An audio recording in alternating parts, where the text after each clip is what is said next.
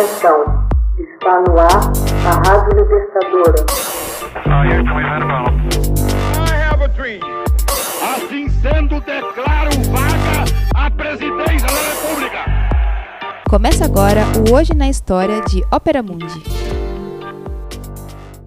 Hoje na História, 21 de agosto de 1770, o navegador inglês James Cook descobre o território da Austrália.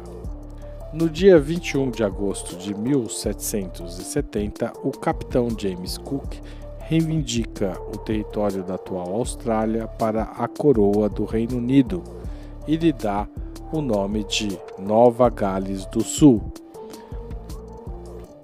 A Austrália teria sido visitada antes por navegadores portugueses como Cristóvão de Mendonça em 1522 e Gomes de Sequeira em 1525. A partir do século 17, holandeses também teriam navegado pela região. James Cook, nascido em 1728 e que faleceu em 1779, foi um navegador, cartógrafo e explorador britânico. Ele realizou três viagens pelo Oceano Pacífico. A primeira, entre 1768 e 1771, percorreu as instâncias da Royal Society com o objetivo de observar o trânsito de Vênus pelo Sol. Em 13 de abril de 1769, comandou o navio HMB Endeavour rumo ao Tahiti contornando o Cabo de Hornos no extremo da América do Sul e seguindo rumo a oeste pelo Pacífico. Com suas observações concluídas, partiu em busca do continente mais austral, a grande terra australis que se imaginava presente nas redondezas do Polo Sul. Com a ajuda de Tupaia, um tahitiano que conhecia bem a geografia do Pacífico, Cook chegou à Nova Zelândia, fez um mapeamento de toda a costa local e descobriu o estreito que mais tarde levaria seu nome. Em seguida, partiu rumo a oeste para tentar chegar à Tasmânia. Por conta de imprevistos climáticos, contudo, acabou na costa sudeste da Austrália. Continuou na direção norte, bordeando e mapeando a ilha, ao atravessar uma barreira de corais, sua embarcação ficou bastante danificada e teve de ser reparada em uma praia próxima à foz do rio Endeavour.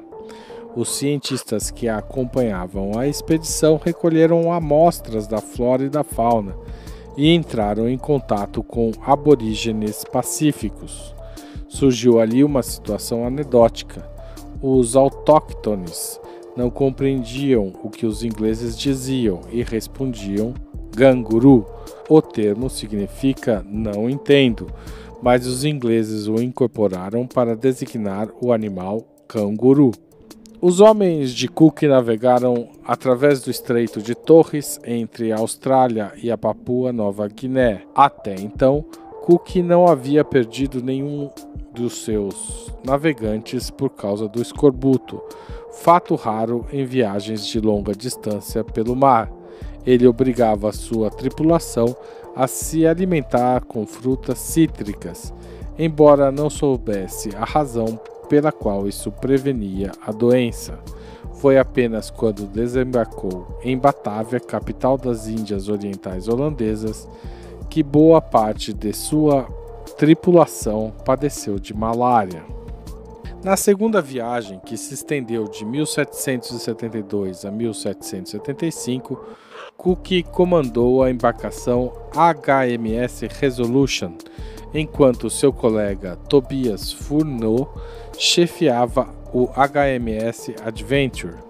A expedição deu a volta ao mundo pelo Círculo Polar Antártico. Em meio à névoa antártica, os dois barcos se separaram. Furneaux seguiu para Nova Zelândia e daí para a Inglaterra, enquanto Cook continuou explorando o entorno da Antártida.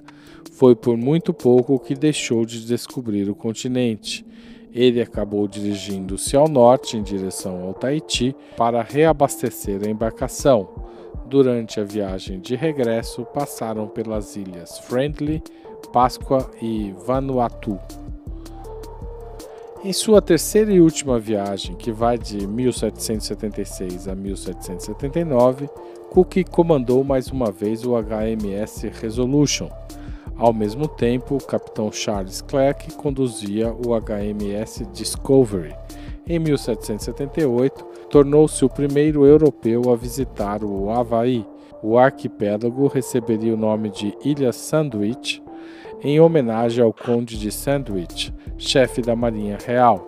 Cook voltou ao Havaí em 1779. Em 14 de fevereiro, alguns havaianos roubaram um pequeno bote que pertencia a ele. Normalmente, reféns eram aprisionados até que os bens roubados fossem devolvidos.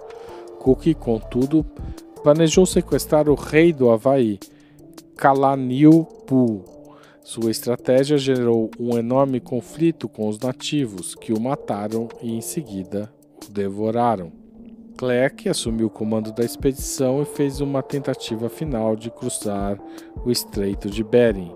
O Resolution e o Discovery regressaram a Londres em 1780. Os 11 anos de navegação de Cook e Clerc pelo Pacífico contribuíram em grande medida para acrescentar os conhecimentos sobre a zona.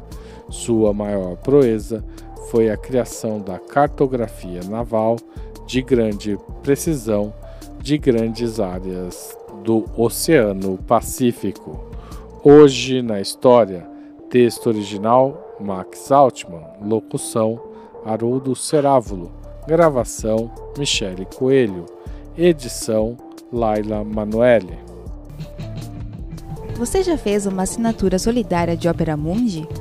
Com 60 centavos por dia, você ajuda a manter a imprensa independente e combativa. Acesse www.operamundi.com.br/apoio.